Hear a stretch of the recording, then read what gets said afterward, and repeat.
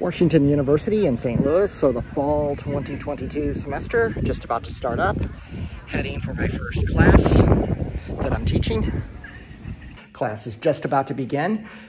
So if you want to follow along on YouTube, I'll be posting these as we as we go. You'll see all the material is up on GitHub, and I'm also working on the PyTorch version of it. This is the TensorFlow Keras version.